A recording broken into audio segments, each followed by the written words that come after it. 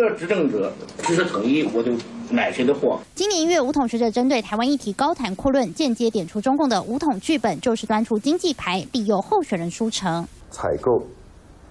新台币十亿元。一月刚讲完，三月韩国瑜就大动作前往港澳深下，宣称四天签下四十四亿元的订单，但没解释清楚的是，这些只是 M O U，等于非正式合约，随时可以反悔。苗栗县长徐耀昌更曾在议会殿堂大方坦诚，同意在苗栗的农产品滞销时，愿意紧急采购的原因，产品品质好，价格好，还是一种统战手腕。我想，我我凭良心话讲，都有，以上皆有。就是李全教，他就是成为这个台南雪甲私募鱼的这个中中间商嘛。那就是说，透过这个方式，由他来代为代为中介嘛。那当然就也增加了李全教在当地的政治影响力嘛。二零一四年，时任台南市议会议长李全教当做私募鱼的媒介，赚取政治利益。中国大陆的这个政治采购，哈，从过去。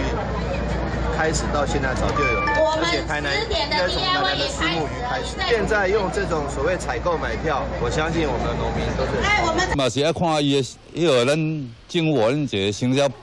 也有配套措施。农民在意有没有赚钱，也在乎台湾会不会落入圈套。中国政治性采购早已行之有年，间接培养代理人，手越伸越长，影响台湾选举。过去中共还曾推出蓝营八县市采线团，绿营执政县市只能路过，不能消费。中方频频伸手助蓝营一臂之力。现在国安局将中汽来台消费列入搜爆重点，拼经济合情合理。但若被有心人扯上统战含义，恐怕成为中共代理传声机。三立选台南、台北，这么报道。